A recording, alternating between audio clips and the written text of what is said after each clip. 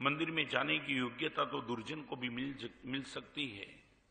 मगर परमात्मा को हृदय में लाने की योग्यता के लिए हमारे वहाँ सूत्र लिखा है दुखितेशु दयात्यंतम। दुखी जीवों को देख करके अत्यंत दया का भाव।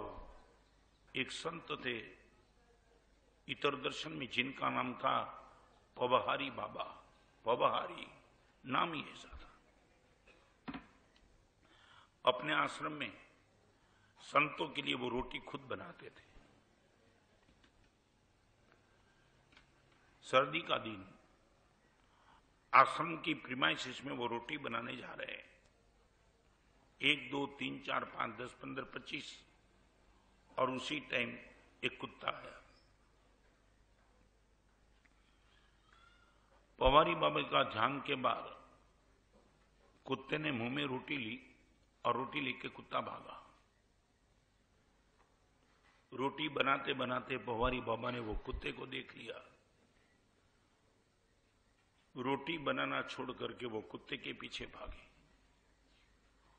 और जैसे ही कुत्ते के पीछे भागे, आप क्या मानते हो? कुत्ता और आ गए अपने पीछे किसी को भागते, आते हुए देख करके कुत्ता रुक तो नहीं जाता है। भागा।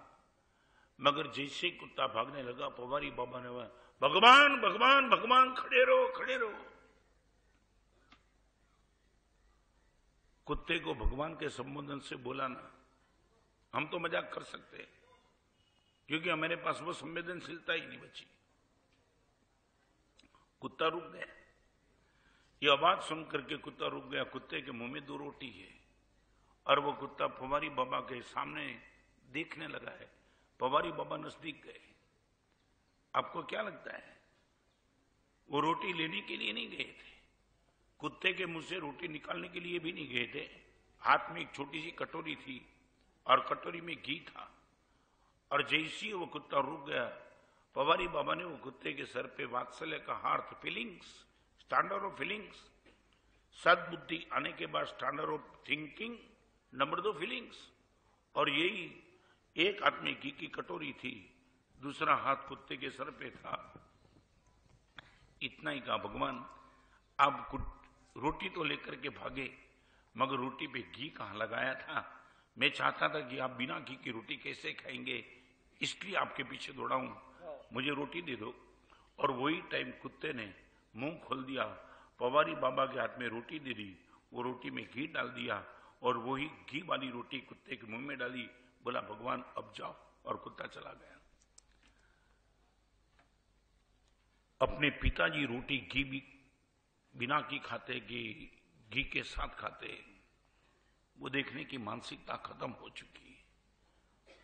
मैं सच बताऊँ, मनी की क्राइसिस को ओवरटेक करना बहुत सरल है, बुद्धि की क्राइसिस को ओवरटेक करना बहुत सरल है।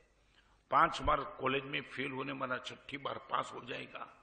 दो साल तक मंदी में मार खाने वाला, तीसरी साल में भी पॉसिबल सब रिकवर कर पाएगा। मगर ये फीलिंग्स की जो क्राइसिस चली है, कोई चीज़ नहीं। न भगवान को देखकर, न संत को देखकर, न माँ बाप को देखकर, न गरीब को देखकर अंदर कुछ जो धड़कन, हृदय की धड़कन चलती है, मगर फीलिंग्स की धड़कन चलनी चाहिए। वो करीबन करीबन बंद हो चुकी है। माँ सरस्वती की कृपा से उसमें भी निश्चित तौर से बदलाव आएगा। नंबर एक स्टैंडर्ड ऑफ़ थिंकिंग हमारी बदल जाए। नंबर दो स्टैंडर्ड ऑफ़